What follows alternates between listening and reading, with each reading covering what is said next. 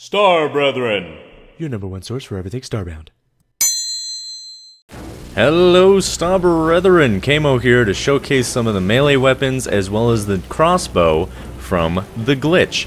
Now the melee weapons I'm about to show you aren't necessarily new, they've actually been in the game for a while, but considering I'm going to show you guys the crossbow, I figured it might be a good thing to mention them. So the first thing I have in my hand here is the small glitch mace, as well as the shield that they commonly drop.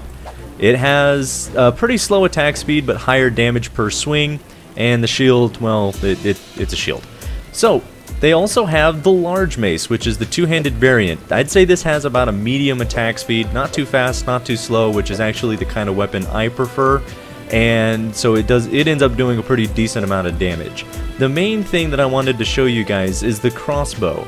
Now the crossbow has a few different variants for his bullet type. You can sometimes have normal bolts, you can sometimes have fire bolts, and as you can see the attack speed is slower and it takes more energy per shot, but each bullet definitely tends to hurt. So, there's the crossbow. As you can see, it's got a little bit of a bullet drop, which again, I like. I like having to, you know, aim the shot a little bit more. Not saying that you can't aim if you if you don't use it. But anyways, alright guys, so that has been this showcase for the glitch weapons. If you guys um, have any other showcases or anything you want me to do, let me know. In the meantime, you guys all take care.